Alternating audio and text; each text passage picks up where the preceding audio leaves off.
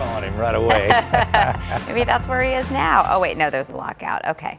With big dreams and a big marker, Rachel Hudgens manages to encourage us and dress us in her 26 designs. Jaime introduces us to a handwriting artist and Jaime's local love. I know we all love our Phoenix Suns, right? And you want to support the Valley with some handwritten work. How about this The Valley t-shirt? So how does this happen? Well, take a look right here. I want to introduce you to the artist. She is Rachel Hutchins of Twenty6 Designs. She is a hand lettering artist. And so how does this become a t-shirt? So I draw that with a pen and paper, old school style. And then once the artwork is done, I submit it to my printer who is locally based in Tempe, and they work their magic. So you're not dealing with a computer at all? No computer. I'm like 1982 over here.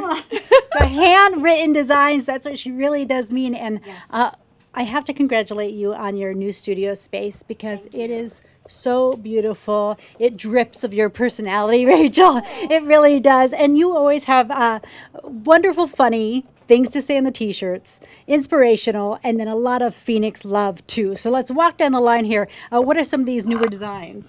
Hope is Dope is one of my new designs. It's a favorite. We all need hope. Yes, we do. And it's so true. And Hope, I have a Hope sweatshirt. We've got Pump Up the Volume. What is this one here? I've got Child of God. And I love the uh, the graphic designs on that on that T-shirt. Loved without limits, divine timing. You love that divine timing. Yes, I do.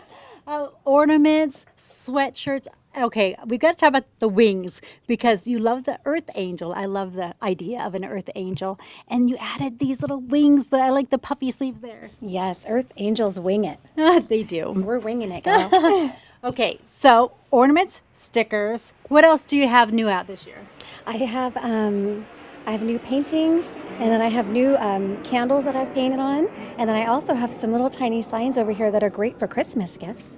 Okay, so we're going to walk this direction and take a look. Uh, I want to mention your handwritten art. We can buy something from you that we could put on our wall too, right? That's right. You sure can. I have all kinds of things available here in my art studio, including these tiny signs. And look, Jaime, there's yes. something here for you. Oh my God, you even spelled my name right. God bless you, Rachel. Jaime's Local Love. I can't yes, wait to girl. put that on my desk.